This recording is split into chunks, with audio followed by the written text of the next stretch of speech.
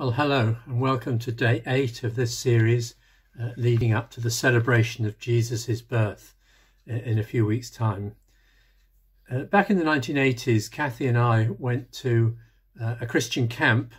Uh, it was one of the first of its kind, held in Essex, I think, and the main speaker was an American uh, called Jamie Buckingham. Some of the older folks amongst us might remember him. And he taught through the week, uh, lots of sessions, did a lot of counselling, I think, and so on. Uh, unfortunately, I can't remember what he actually spoke about now, but what I can remember is what he did. Because we finished on the Sunday night, Monday morning, he was out there with all the others, sleeves rolled up, and he was helping to take the big marquee, 500,000 seat or whatever it was, helping to take that down and pack it up. And I was really impressed. He was serving. And uh, the verses today, Isaiah 42, begin like this Behold, my servant, whom I uphold, my chosen, in whom my soul delights. I have put my spirit upon him, and he will bring forth justice to the nations. A bruised reed he will not break, and a faintly burning wick he will not quench. That's encouraging for us. He's not going to break us when we feel weak or uh, in difficulties.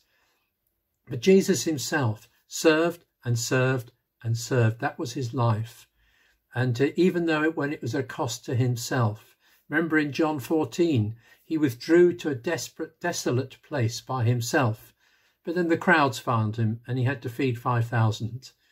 And then after that, the crowds left. Uh, he sent the disciples away across Galilee and he went up the mountain to pray. And what happened? The, the disciples were struggling in the boat and he walked out to them. So he lost his prayer time. And then when the boat landed, the people there brought all their sick to him to be healed. So he just gave himself and gave himself. He's a serving Saviour.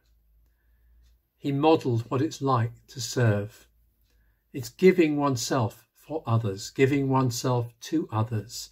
John says in chapter 3 God so loved the world that he gave his son, gave himself to us.